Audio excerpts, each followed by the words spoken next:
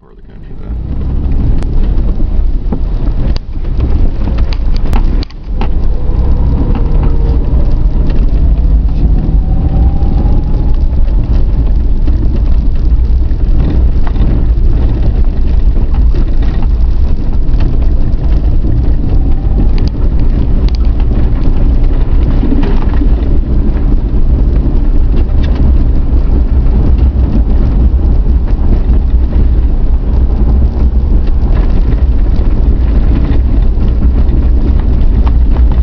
Yeah, it's kind of hard to find, but um, you have to see Lake Kissimmee.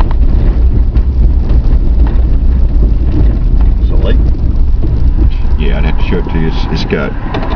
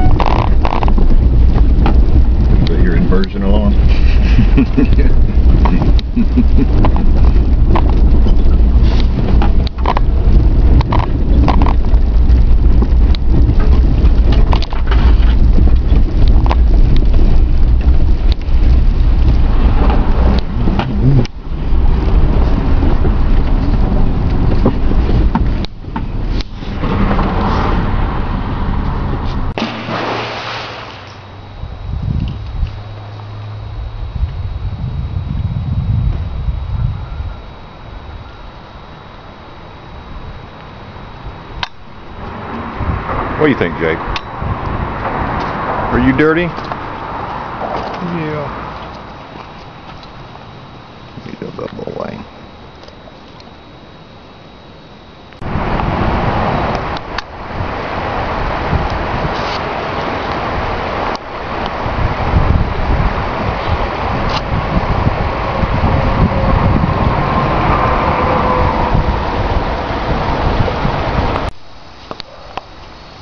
These are the ruins of the old lumber mill. I don't know how old this is, but when we go around the bend, you can see like the river, and this is the middle of the woods.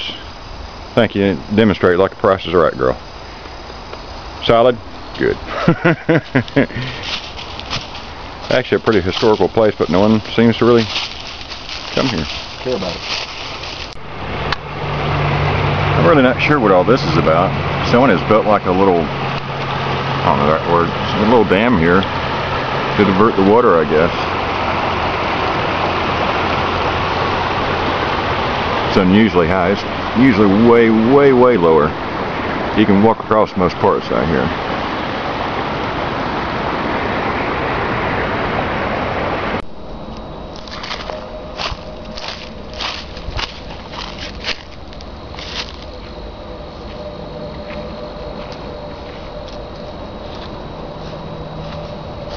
There was one for jumping off a ropes, piece of rope into some dirty water with an undertow, but is pretty cool.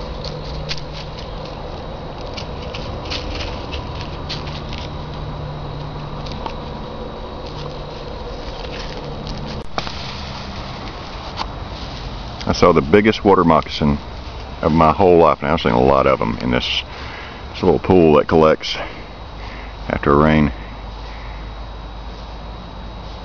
Big water moccasin. I don't uh, know if you can make it out, but the cypress knees, kind of unique.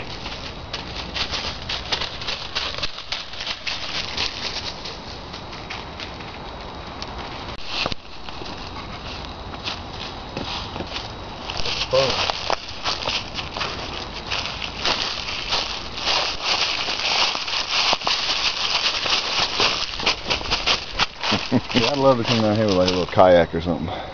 That was my plan. I was going to take. Sandbar. Yeah, you only need like a little cheap boat to get get across. One of them little inflatable rafts would probably do enough. A couple of paddles. They can swim across and pull it with a rope. This is the beach. If you walk back far enough, I mean, it's, it's pretty well untainted because no one comes back here. It's kind of a little bit of a hike. And it's very shallow here. You could just about walk across right here. This is probably the deepest part. It might get a couple feet deep.